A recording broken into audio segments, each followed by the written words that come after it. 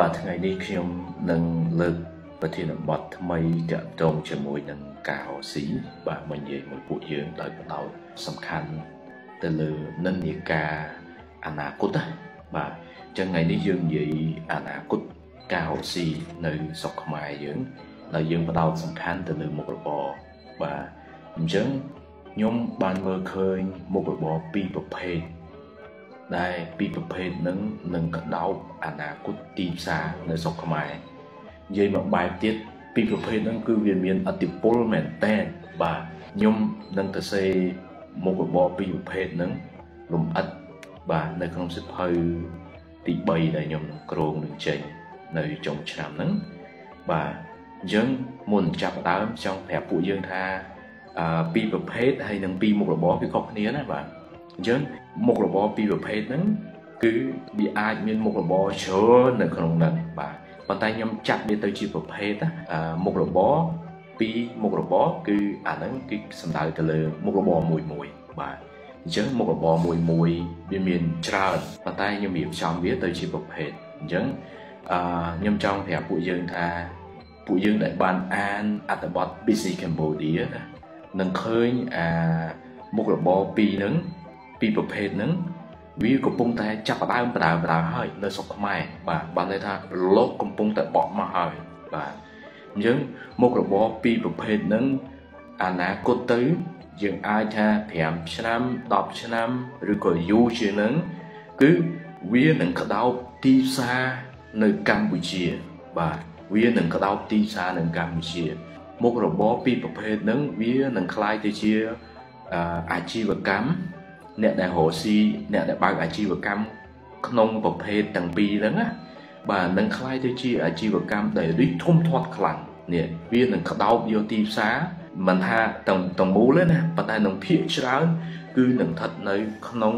ចំណែកនៃទីផ្សាររបស់អាជីវកម្មដែលស្ថិតនៅក្នុងប្រភេទហ្នឹងអញ្ចឹងពួកយើងដែលកំពុងរកស៊ីបែបបុរាណបាទរកស៊ីបែបឥឡូវបាទបែបឥឡូវហ្នឹង ចង់និយាយថាមិនមែនជានិន្នាការអនាគតគឺពួកយើងអត់មានជំរឿសទេបាទក្រៅពីមុខរបរពីរប្រភេទហ្នឹងគឺពួកយើងអត់មានជំរឿសទេបាទខ្ញុំចង់ប្រាប់ពួកយើងឲ្យហើយខ្ញុំតាមដានមុខរបរពីរនេះយូរហើយបាទតាំងពីចាប់ផ្ដើម Business Cambodia មកឥឡូវវាចូលប្រហែលជាជាង5ឆ្នាំហើយហើយពីមួយថ្ងៃពីមួយថ្ងៃគ្នាខ្ញុំគាត់ទៅសេណាទៅសេតាក់ទងរឿងអឺ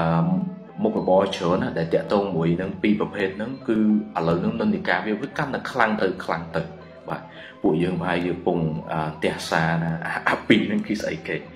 អាពីហ្នឹងស្អីគេប៉ុន្តែអឺតិចទៀតខ្ញុំប្រាប់ពួកយើងបាទចង់ផ្ដាំទៅពួកយើងដែលកំពុងតែរស់ស៊ីបែបបុរាណបាទ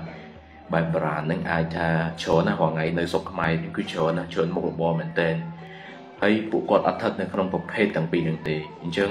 បើសិនបើពួកយើងមិនស្ថិតនៅក្នុងប្រភេទមុខរបរទាំងពីរដែលខ្ញុំនឹងនិយាយប្រាប់ពួកយើងហ្នឹងទេ ពួកយើងត្រូវតែនាំគ្នាផ្លាស់ប្ដូរបាទត្រូវតែផ្លាស់ប្ដូរនៅក្នុងការរកស៊ីខ្ញុំបានធ្លាប់លើកប្រាប់ពួកយើងដែរថារាល់អាជីវកម្មទាំងអស់បាទបើមិនផ្លាស់ប្ដូរទេ គឺនឹងលងទឹកហើយបាទនឹងលងទឹកហើយអត់មានអាជីវកម្មណាដែលអាចរស់បានដោយអត់ផ្លាស់ប្ដូរខ្លួនឯងទេ អាជីវកម្មក៏ត្រូវផ្លាស់ប្ដូរយើងជាសហគ្រិនក៏ត្រូវផ្លាស់ប្ដូរបុគ្គលិកយើងដែលធ្វើការនៅក្នុងក្រុមហ៊ុនក៏ត្រូវផ្លាស់ប្ដូរដែរបើពួកគាត់អត់មានចម្រើនទេអាជីវកម្មយើងគឺអត់មានចម្រើនទេណាអញ្ចឹងតើពីរប្រភេទហ្នឹងគឺស្អីគេបាទទី1គឺប្រភេទ franchise បាទពួកយើងធ្លាប់ឮច្រើនហើយថា franchise វាជាអនាគត franchise ជាអនាគតបាទឥឡូវពួកយើងចាប់ដើមមើលទៅបាទនៅស្រុកខ្មែរយើងអ្នកដែលបាន ចាប់ផ្ដើមមុនមុនគេពួកយើងឃើញមាន Brown ទោះបីជាគាត់មិនលក់ franchise ប៉ុន្តែប្រព័ន្ធការគ្រប់គ្រងគាត់ពេលដែលគាត់ចាប់ផ្ដើមរហូតទៅអនាគតគឺវានឹងទៅជា franchise បាទពួកយើងមើលហាងកាហ្វេ Starbucks បាទពួកយើងមើលហាង Pizza Company Domino ពួកយើងឃើញទេបាទអញ្ចឹងពួកគាត់កំពុងតែចាក់រឿហើយរាល់ថ្ងៃណា វាអត់ទាន់ចេញជាផ្លែបើចេញជាផ្លែទីទៀតពួកយើងចាប់ដើមមកស៊ីគឺទិញហាង Pizza Company ទៅបើកតែម្ដងពួកយើងអាចនឹងបើកហាង Brown ពួកយើងអាចនឹងបើក Starbucks ពួកយើងអាចនឹងបើកយីហោ franchise ច្រើនទៀតដែលកំពុងតែចាក់គ្រឹះនៅស្រុកខ្មែរហ្នឹងឃើញទេហើយដល់ពេលចឹងទៅពួកយើងដែលអត់យកយីហោពួកគាត់យកទៅបើកទេគឺពិបាកនៅក្នុងការប្រកួតប្រជែងមួយពួកគាត់ណាឃើញទេអានឹងដោយសារហេតុអីគឺប្រព័ន្ធការងារគាត់ហ្នឹងវាទៅជា franchise ណាណាហើយចុងក្រោយយើងឃើញ Mart Circle K ឃើញអត់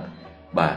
អាចអនាគតនឹងមាន 7-Eleven ចូលទីផ្សារខ្មែរឃើញទេហើយដល់ពេលចឹងទៅពួកយើងតែបើក Mart នៅក្រោមយីហោផ្ទាល់ខ្លួនយើង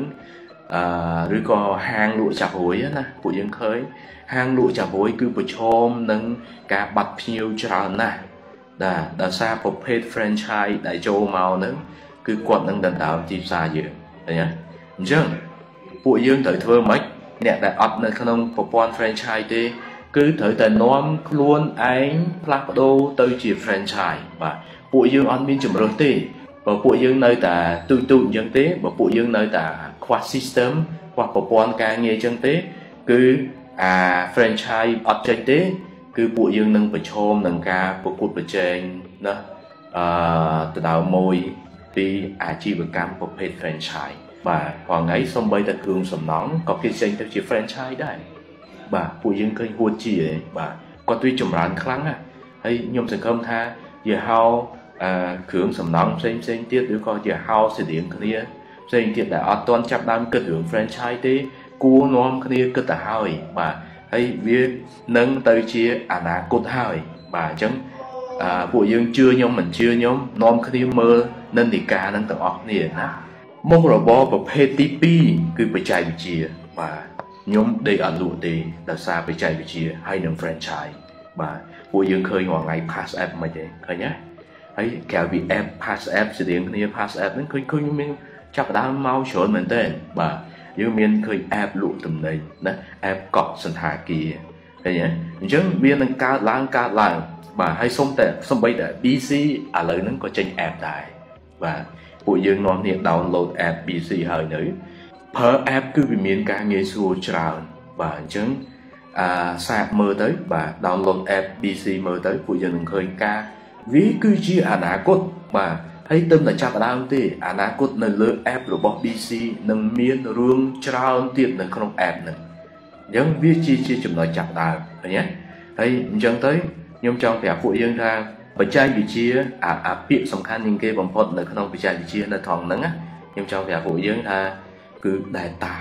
បាទគ្រប់គ្រងទិន្នន័យបាទពួកយើងត្រូវចាំពាក្យហ្នឹងឲ្យបានណាពាក្យហ្នឹងជាពាក្យសំខាន់បំផុតនៅក្នុងការរកស៊ីបែបបច្ចេកវិទ្យាបាទអញ្ចឹងមុខរបរប្រភេទបច្ចេកវិទ្យាហ្នឹងខ្ញុំចង់ប្រាប់ពួកយើងថា វាគឺជាប្រភេទមុខរបរ